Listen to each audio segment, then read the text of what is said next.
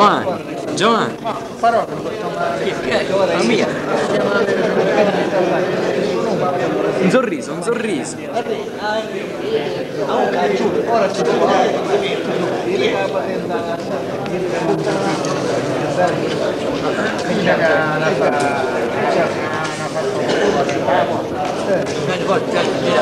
Interessa, poi è che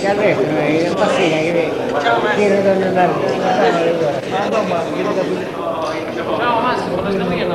Ciao, Pi.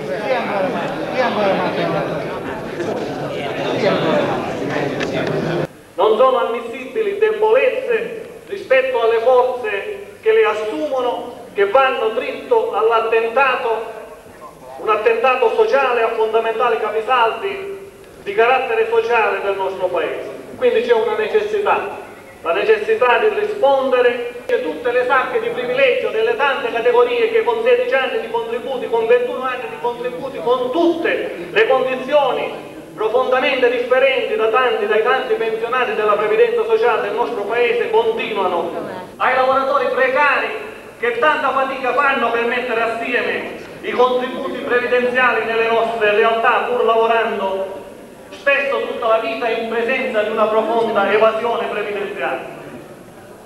Questa richiesta di lacrime e di sangue al popolo italiano non è secondario che questo lo faccia un governo e una classe di governo che è la prima responsabile del degrado di questo paese, che è l'artefice prima della crisi, delle difficoltà, della divisione del paese, che fino a ieri gridava trionfalistici dichiarazioni di soddisfazione per lo stato dell'economia. che alla Germania stia riuscendo con la pace quell'assalto al potere mondiale che con due guerre mondiali non è riuscita a fare. Niente, compra eh, una- un panfilo, può eh, scalarne una parte del costo nel momento in cui dimostra che gli serve come spesa di rappresentanza per poter vendere meglio le sue macchine. Sembrano delle sciocchezze, ma nella realtà questo per fare vedere che ulteriormente il settore dell'agricoltura e della cooperazione sarà penalizzato, mentre altri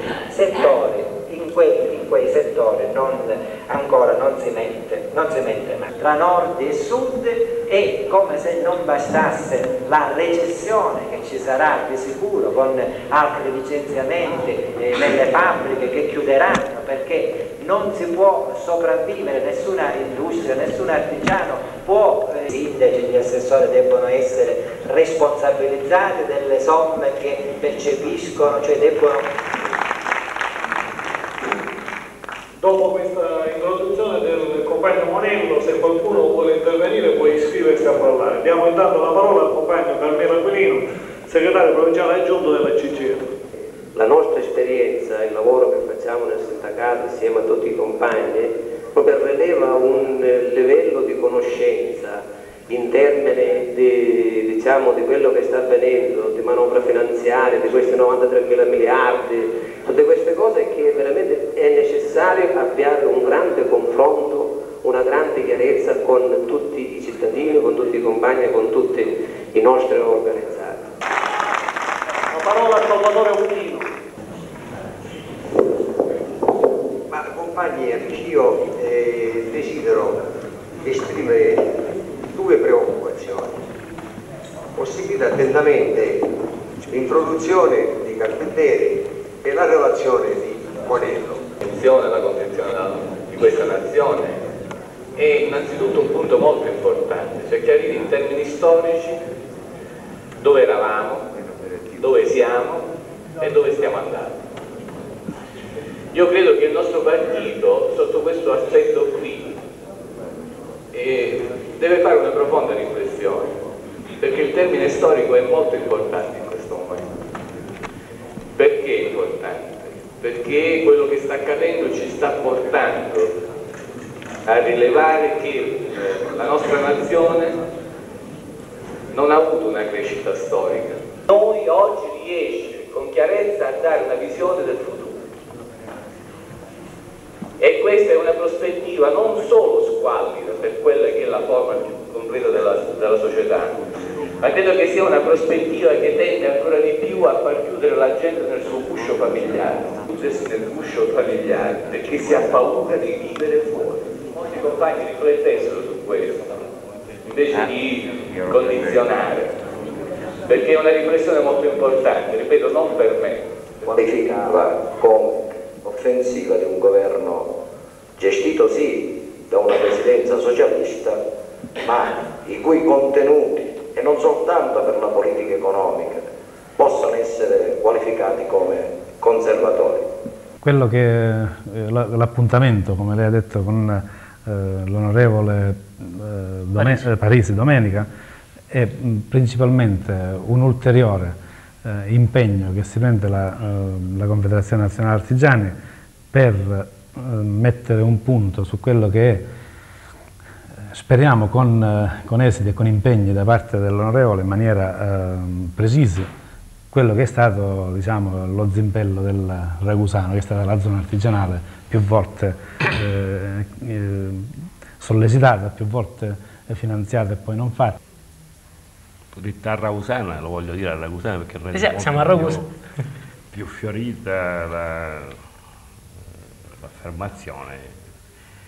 Pensi c'è che c'è che capisce cioè nel senso che non è stato capace di individuare le vere sacche dell'evasione, per certi versi ne accennava il collega Cavallo, per rifugiarsi, proprio per, questa è fatto l'affermazione dell'impotenza eh, da parte di uno Stato, per rifugiarsi ancora una volta in quei settori che nei fatti già di per sé pagano le tasse e le pagano in soldoni con un carico fiscale abbastanza notevole.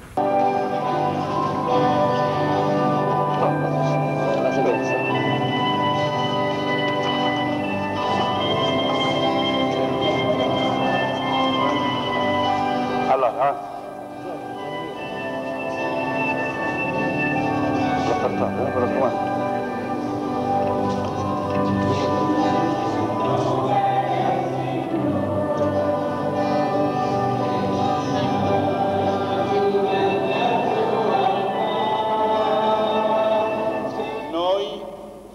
chiamati, abbiamo risposto all'invito, ci ritroviamo in assemblea in questa chiesa. Tu che togli i peccati del mondo, accogli la nostra supplica. Tu che siedi alla destra del Padre, abbi pietà di noi. Prima lettura dal libro del Siracide. Il Signore giudice e non vede presso di lui preferenza di persone. Salmo responsoriale, ripetiamo insieme. Giungi al tuo volto, Signore, il grido del povero. Seconda lettura. Dalla seconda lettura di San Paolo Apostolo a Timoteo. Carissimo, il mio sangue sta per essere sparso in libagione ed è giunto il momento di sciogliere le vele. Il Signore sia con tutti voi Dal Vangelo secondo Luca. Gloria a te, oh Signore. Dio è Padre di tutti. Gesù appartiene a tutti. E guai a noi se ci impossediamo, impossessiamo di Cristo ritenendolo solo nostro. In giorni viene il grido del Papa. Padre, nel nome di Gesù ti preghiamo fai risorgere in tutti i cuori la vocazione missionaria. Per tutti coloro che soffrono a causa delle malattie più devastanti ed emarginanti, affinché trovano conforto nella fede e incontrano la nostra fraterna solidarietà, preghiamo. Ascoltaci, oh Signore. Padre, nel nome di Gesù ti preghiamo, diffondi l'amore universale, la fratellanza il reciproco rispetto tra gli uomini